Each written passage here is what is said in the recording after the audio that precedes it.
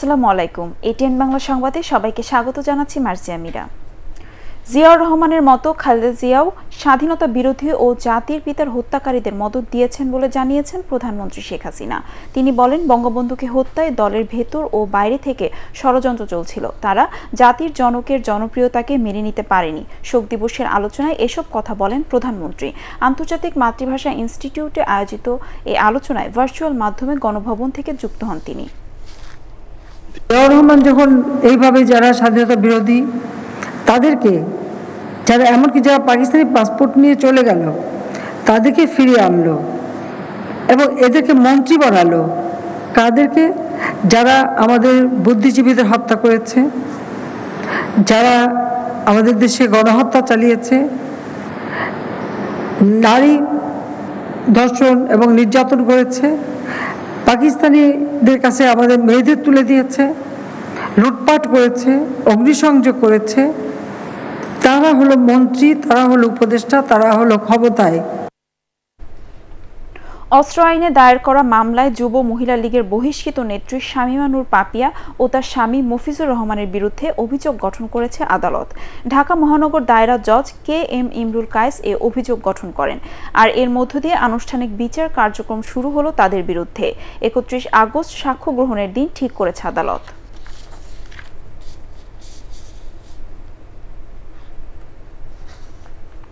দেশের বিভিন্ন জেলায় করোনা ও এর উপসর্গ নিয়ে প্রাণ গেছে আরও অন্তত নয় জনের। এর মধ্যে শুধু সিলেটেই মারা গেছেন চারজন।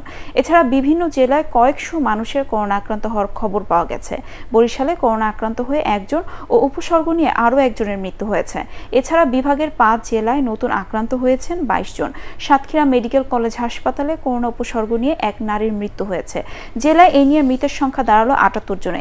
জামালপুরে ডেপুটি সিভিল ও তার পরিবারের চার সদস্য করোনা আক্রান্ত হয়েছেন সবশেষ চব্বিশ ঘন্টায় সেখানে নতুন করে চোদ্দ জনের করোনা শনাক্ত হয়েছে। যশোরে একশো দুই জন করোনা পজিটিভ হয়েছেন। এছাড়া গত চব্বিশ ঘন্টায় রংপুরে সাতান্ন নারায়ণগঞ্জে চোদ্দ, নোয়াখালীতে চব্বিশ, নাটোরে আট এবং নেত্রকোনা ও শেরপুরে একজন করে করোনা শনাক্ত হয়েছেন। এদিকে করোনা আক্রান্ত হয়ে মারা গেছেন বেসরকারি টেলিভিশন, এনটিভির যুগ্ম প্রধান বার্তা সম্পাদক ও সাংবাদিক নেতা আব্দুস শহীদ। ইন্নানিল্লাহি ওয়াইনাইলিহে রাজিউন। মহাকালী শেখ রাসেল গ্যাস্ট্রো লিভার হাসপাতালে চিকিৎসাধীন অবস্থায় সকাল পৌনে এগারোটায় তিনি মারা যান। তার বয়স হয়েছিল তেষট্টি বছর। তিনি স্ত্রী, এক পুত্র রেখে গেছেন। পেশাগত দায়িত্ব পালন করতে গিয়ে আব্দুস শহীদ গত জুলাই মাসে করোনা আক্রান্ত হন। এরপর থেকেই তিনি হাসপাতালে চিকিৎসাধীন ছিলেন। আব্দুস শহীদ ঢাকা সাংবাদিক ইউনিয়নের সাবেক সভাপতি সভাপতি হিসেবেও দায়িত্ব পালন করেন। আব্দুল শহীদের মৃত্যুর খবরে সাংবাদিক মহলে শোকের ছায়া নেমে এসেছে। উনিশশো সাতান্ন সালে লক্ষ্মীপুরে জন্মগ্রহণ করা আব্দুল শহীদ পেশাগত জীবনে এনটিভি ছাড়াও বিভিন্ন গণমাধ্যমে সুনামের সাথে কাজ করেন নদীর পানি কিছুটা কমলেও প্রবল বর্ষণে অপরিবর্তিত রয়েছে দক্ষিণাঞ্চলের বন্যা পরিস্থিতি। বরিশালে এখনও বিপদসীমার একশো আট সেন্টিমিটার উপর দিয়ে বইছে পানি, প্লাবিত কয়েকশো গ্রাম। পানিবন্দী পঞ্চাশ হাজারের বেশি মানুষ। এদিকে টানা বৃষ্টিতে নদ নদীর পানি বেড়ে নেত্রকোনায়ও বন্যা পরিস্থিতির অবনতি হয়েছে।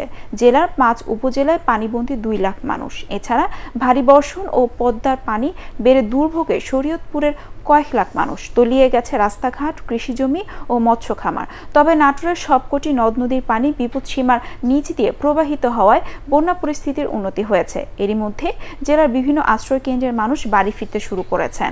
তবে পানি ও মশাবাহিত রোগ ছড়িয়ে পড়ার আশঙ্কা করছেন অনেকেই।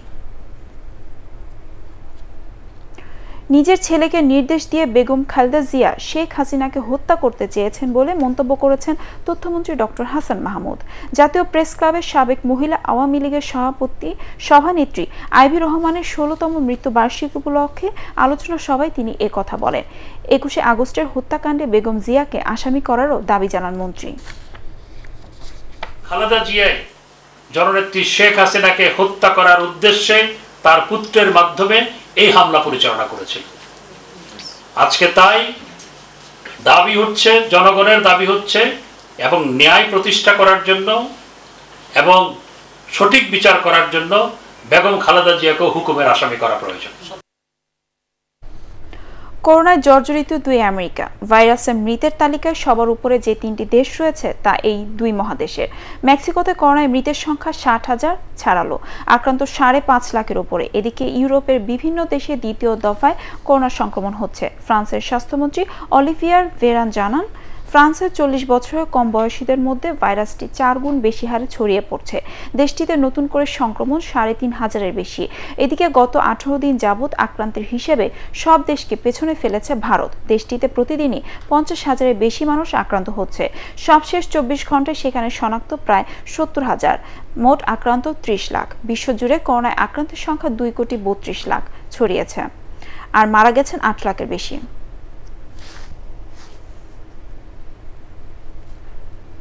দর্শক, পরবর্তী সংবাদ দেখার আমন্ত্রণ জানিয়ে এখনকার মতো শেষ করছি। করোনা ভাইরাস থেকে নিজেকে সুরক্ষিত রাখতে মাস্ক পরুন, বারবার হাত পরিষ্কার করুন। এটিএন বাংলা সংবাদ ইউটিউবে দেখতে ব্রাউজ করুন, YouTube slash ATN Bangla news ধন্যবাদ সবাইকে।